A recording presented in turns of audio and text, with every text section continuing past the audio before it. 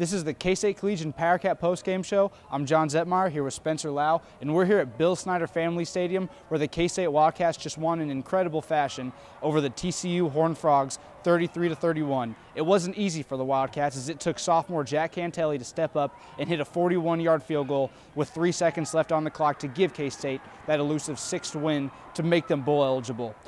Here's Jack's thoughts after the game.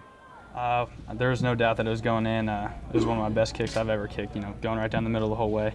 I just, I really didn't know how to react. I was just so pumped. Uh, All right, Spencer. Early on in the season, we saw K-State lose games in these kind of situations. Oklahoma State, Baylor, Texas had opportunities late in the game but couldn't get it done. What was the difference tonight for the Wildcats? Uh, John, I'd say there were two real big differences. The first one, kind of the easy one to say, Jack Cantele, four for four on field goals. That clutch, clutch, late time goal. Um, you got to love kickers that can do that. They're either the hero or they're the joker. Today, he was definitely the hero. The second big key is the two quarterback systems seem to work pretty well today.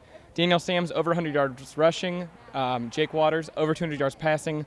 They both seem pretty pretty fluid coming in and out of games, so that was impressive to me. And one of the biggest differences, kind of what you said, with the two quarterbacks in these kind of situations earlier on in the season, we saw turnovers. We saw Jake Waters fumbling against Texas. We saw interceptions against Oklahoma State and Baylor from both him and Sams. So it, it, really that really was probably one of the biggest differences today. Absolutely. Now going forward, the Wildcats were two and four at one point, and now they're six and four, with a big game next weekend against Oklahoma. Just thoughts on that one? Uh, Oklahoma game is huge. It's kind of kind of be if it's a win, it's a big statement win for, win for any bowl game we might go to. We'll, we will be going to.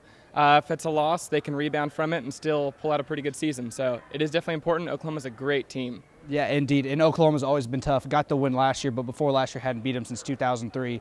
And that'll wrap us up from, from Bill Snyder Family Stadium. I'm John Zetmeyer with Spencer Lowe. Tune in later this week as we'll bring you the Powercat preview show.